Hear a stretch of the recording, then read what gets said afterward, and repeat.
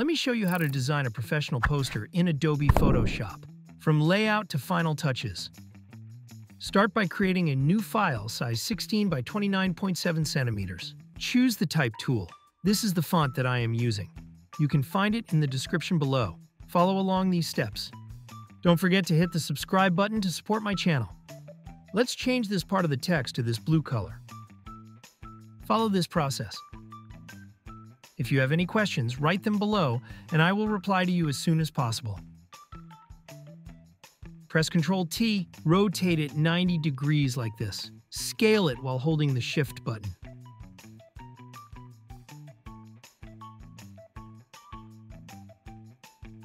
Select your background layer, then head over to Adjustment Layers and choose Solid Color. Pick a black color and click OK. Now select the text layer, hold Alt, and drag it to the right to duplicate it.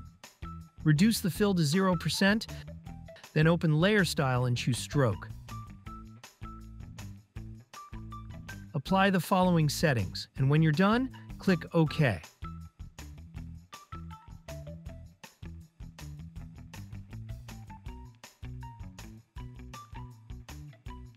Create a new group and drag this text layer inside it. Let's rename this group. Right-click the group and choose a color label. Then add a layer mask to the group. Choose the Brush tool. Choose the Soft Round brush. Set the opacity to 100 and reduce the flow. Set the foreground color to black. Follow this process. Before we continue, I just want to quickly mention my Patreon page. You can download all the PSD files from my tutorials on Patreon page for a small fee. It's a great way to support the channel and get all the project files in one place.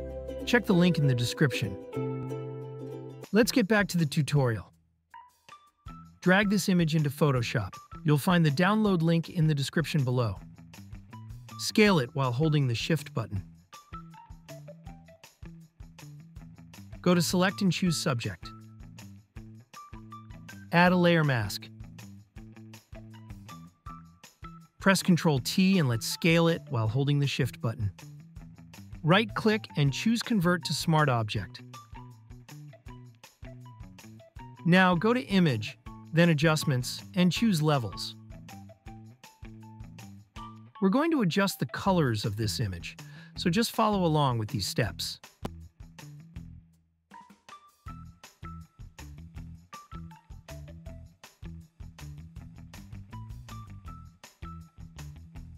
Duplicate this image like this.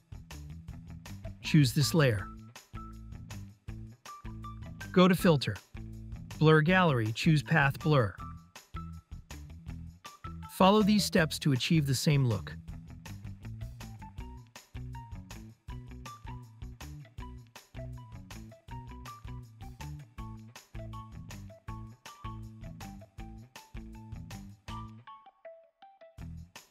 When you finish, press OK. Put these two images in a group. Let's rename it. Right-click here and choose a color for this group.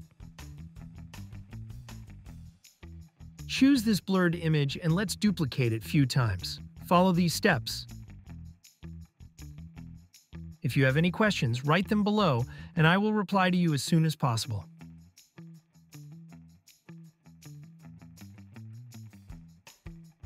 Now select the Type tool and let's add some text right here. Hit the like button and subscribe to my channel. Follow along these steps.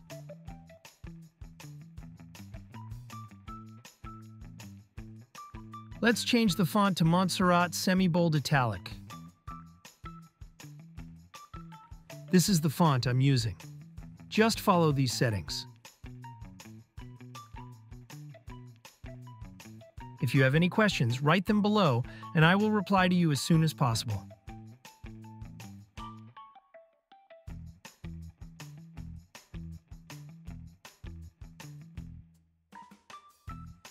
Follow these steps to achieve the same look.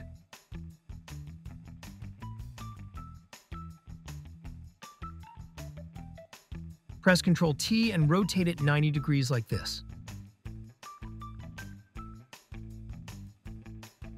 Scale it down accordingly.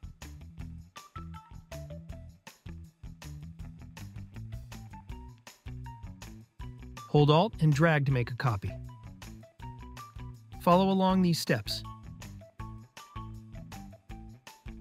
Now drag this plastic texture image to Photoshop.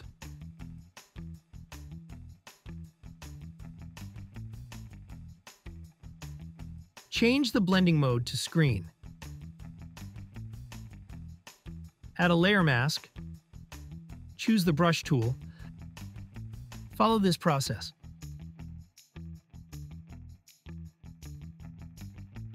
If you have any questions, write them below and I will reply to you as soon as possible.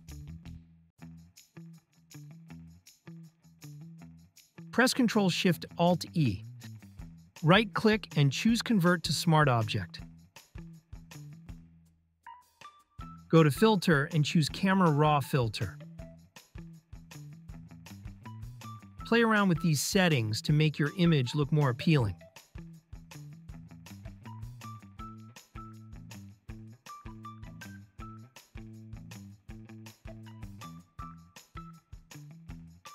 Here's the before, here's the after. That's it. Hope you liked it. You can download all the PSD files from my tutorials on Patreon page for a small fee. It's a great way to support the channel and get all the project files in one place. Check the link in the description. Subscribe to my YouTube channel for more tutorials. Also watch other tutorials in my channel.